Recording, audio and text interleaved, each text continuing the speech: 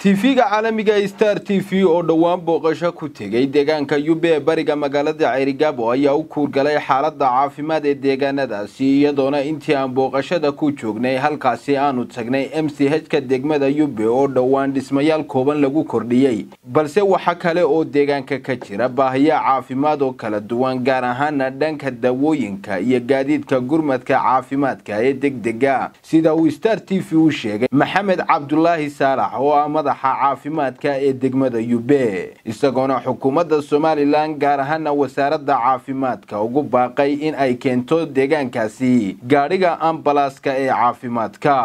Mchka yube waxaa dib loo furay labadii kun iyo toddobiyo tobankii bishii shanaad lixdeedii baanu bilownay. Runtii markaanu bilownay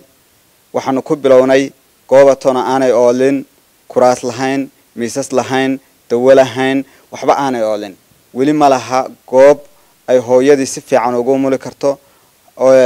sababtoo ma laha weli dawadii wax dawaa ma taalo deegaanka markaynu eegno deegaanku waa ballaadhan yahay. Markii mchka lagu yimaado ma laha wax aad ku tagtid oo deegaankii ku gaadhid. Waxaan ka codsanaynaa dawladda iyo wasaaradda caafimaadka ee somalilan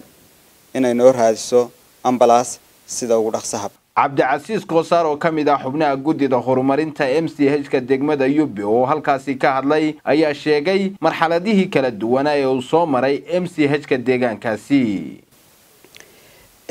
waxaan u mahad celinayaa dhammaan dadkii ka soo qayb qaatay ee lacagtooda ku bixinayay. Waxaynu ogsoonahay wuxuu markuu muuqdo in waxa weeyaan uu hirgaloo socdo ma cusla laakiin in la bilaabo wax ka culus ma jiraan. Marxalad adag baad soo marteen xilli adag baad ka soo qayb qaadateen. Haddana culayskii badnaa unba idinka dhacay hawshiisii idinkama hadhin. Weli sidii baa laydinka rabaa waxyaabaha uu u baahan yahay inaad ka qayb qaadataan. Wax badan baynu qabanay meel baynu ka soo dhaqaaqnay siirooya meel fiican baynu maraynaa waxyaabaha dhiman oo qolka umulisada oo hadda dhakhtarku ka sanqariyey oo baahideedu jirto insha allah iyo ambalaaska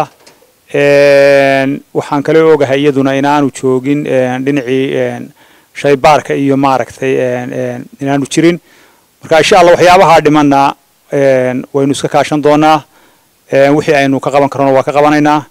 Cid kasta oo gacan ka geysato oo wax ku soo kordhisana waa u mahad celinaynaa gabagabadiina waxaa halkaasi ka hadlay xogaye ku-xigeenka guud ee xisbiga wadani jamaal jaamac xaamud oo isaguna dhankiisa xukuumadda somalilan ugu baaqay in ay keento baabuurka ambalaaska ee caafimaadka. M c h kii aynu ogeyn berigii hore siduu ahaa intuu xidhnaa haddana shaqeeyey oo muddo shaqaynayey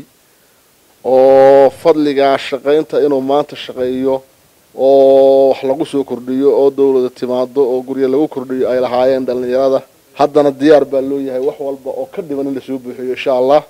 xukuumaddana waxaanu ku boorinaynaa mar haddaad dhisteen dee laba qolo ku soo kordhiseen waa mahadsantihiin laakiin waxaa dhiman soo dhameeya oo ugu horeeyo ambalaasku ugu horeeyo soo dhameeya annaguna insha allah halkii baynu ka sii wadaynaa hawsha ka daali mayno qoladaa hadda la wareegtay dhowrka bilood oo oo umahadnaqaynaa aad baanu cabdiraxmaan axmed ilsar star t v wararka gobolka sanaag